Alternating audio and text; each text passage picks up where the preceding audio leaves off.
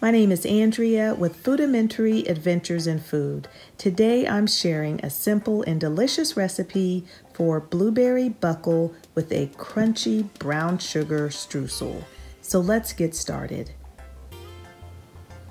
For the cake portion of the recipe, you'll need flour. I'm actually using cake flour because it makes the cake more tender. Um, if you decide to use cake flour, you'll need to add two extra tablespoons of cake flour per cup. I'm also using some fresh blueberries. If you want to use frozen, you can. You'll just need to make sure that they are thawed and drained. Sugar, you're going to need butter and egg and milk, and all three of those are at room temperature. You'll also need baking powder and salt. For the crumble portion, you're going to need some brown sugar, flour, and I'm just using all-purpose flour here, butter, and cinnamon. Okay, so the beauty of this recipe is that you don't have to cream the butter and sugar all of that stuff separately. You just throw everything in there at once. So I've already got my egg in the bowl. I've got my butter. Here's my sugar, my baking soda and salt, powder, excuse me, and salt, my flour,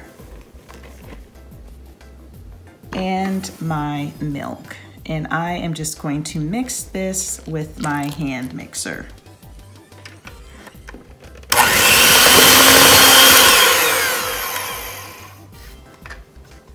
I'm just gonna get this off of the side of the bowl, extra flour.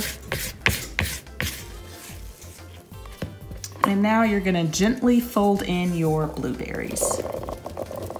And I'm using about a cup and a half of blueberries. You can use anywhere from a cup and a half to two cups. Just gonna fold them in.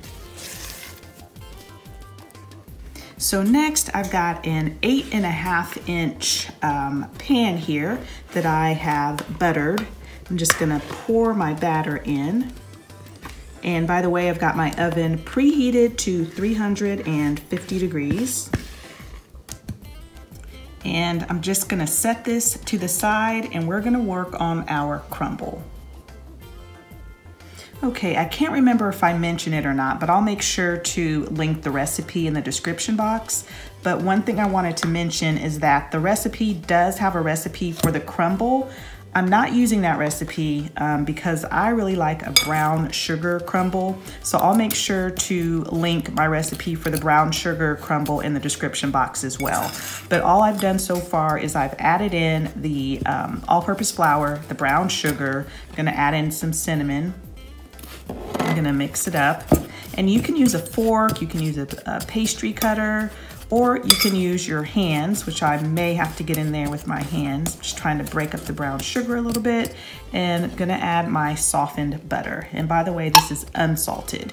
So you're just going to mix this up um, until everything is combined.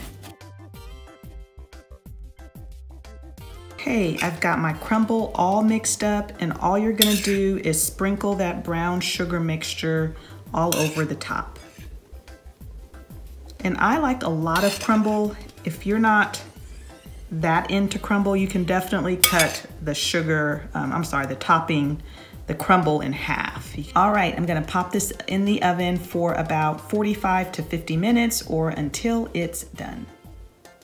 Okay, so I just took this out of the oven and I'm going to let it cool completely and then I will cut a slice so you all can see what it looks like on the inside. Okay, so here's the blueberry buckle and I ended up baking this for 55 minutes and I've cut out a slice so you all can see the inside of it and here it is on the plate. So good, such a tender, delicate crumb. I hope you all enjoyed this recipe. If you did, please make sure to give me a thumbs up. If you have not subscribed to our channel, we'd certainly love to have you. Thanks so much for watching and we'll see you all next time.